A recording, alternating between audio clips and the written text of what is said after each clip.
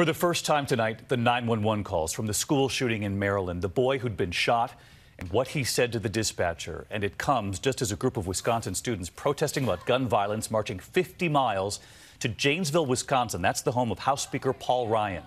Here's ABC's Steve Osunsami with those 911 calls and the fear from inside this latest shooting. Maryland police tonight are releasing these panic calls for help from classrooms at Great Mills High School. I could see was like a pool of blood um, on the ground. Right outside room F05 in the art hallway, 17 year old Austin Rollins is shooting, and 16 year old Jaelynn Willey is bleeding to death. Okay, are you with her right now?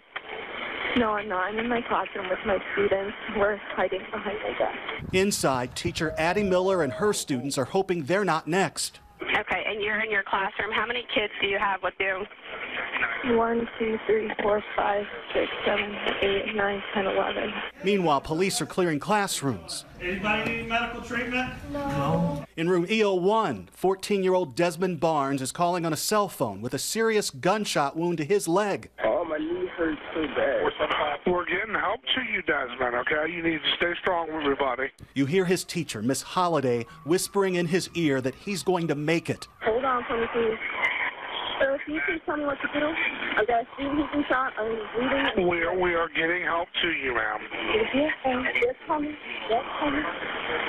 Yes, coming. Don't worry. Investigators say the 17 year old gunman last Tuesday killed himself and was using his father's legally owned handgun.